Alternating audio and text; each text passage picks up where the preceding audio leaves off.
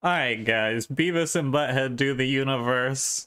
I had no idea this was even coming out, and I love the first film. I love it so much, and I grew up on the original series. I'm a child of the 80s and 90s, and so I remember vividly when my first sister was born in 93, when I was at the hospital, I was in the waiting room watching Beavis and Butthead on MTV in the middle of the night, uh, and loving it. Me and my cousin were watching it and having a blast, and so uh, I have no idea what to even expect. Like, I didn't think Beavis and Butthead was relevant anymore.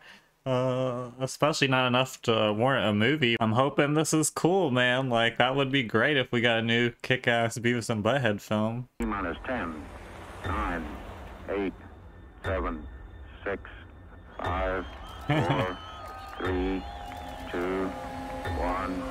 He's even letting them on the shuttle. What the heck, man?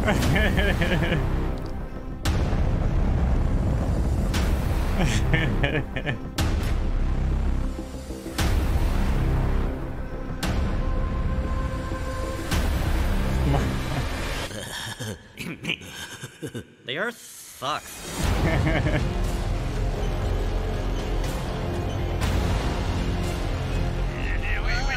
Think the floor is not working. Dude, the animation looks great. Looks the same yet clean.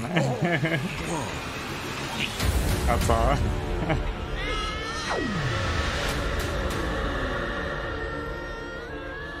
Look at that number up there on the billboard.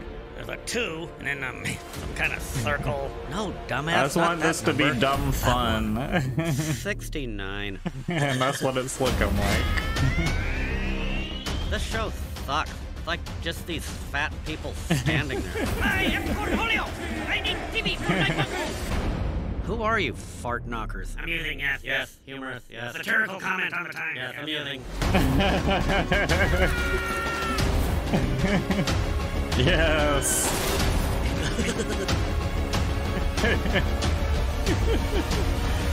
yeah, this looks fun.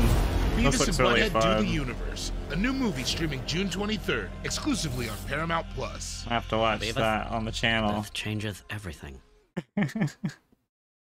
Alright guys, that looks like it could be a whole lot of ridiculous fun, which is what it should be and what I'm expecting.